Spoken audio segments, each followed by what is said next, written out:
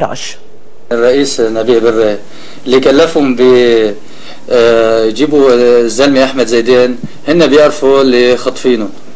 وشكرا. بحسب المتكلم فإن كل الظن إثم. إذ نفى صاحب هذا الاتصال الاتهام الذي ألصق به بخطف أحمد زيدان.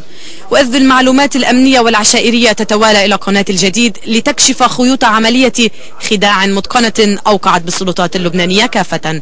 فشقيق خاطف أحمد زيدان الذي سعى الرئيس بري لإطلاق سراحه حضر جلسة تسليم زيدان في عين التين من دون علم أحد بأن الزائر هو شريك في الجريمة. إذ كان يسلم الطعام للمخطوف وهو ملثم ما صعب التعرف عليه.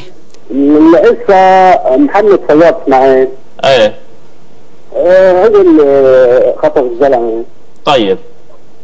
إيه إيه هو اللي خطف الزلمة. و... و... وكيف صار الموضوع عندكم؟ أو كيف انتقل لكم طلع مذكرة توقيف بحقكم.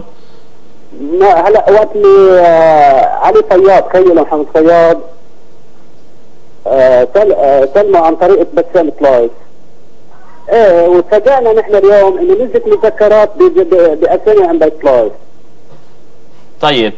أنت عم تقول إنه علي فياض هو اللي اللي خطف وعلي فياض مش التقى بالرئيس بري وقعد هو إياه؟ مش مش علي محمد. محمد اللي هو شو بيقربه؟ خيو.